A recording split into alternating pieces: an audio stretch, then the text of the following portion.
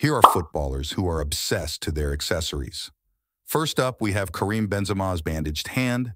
He has been wearing a bandage on his right hand since getting hurt in 2019. Instead of surgery, he chose to keep playing, making the bandage a part of his iconic look.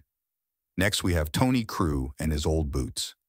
He sticks to his Adidas Adipure 11 Pro boots from 2014, believing they bring him luck.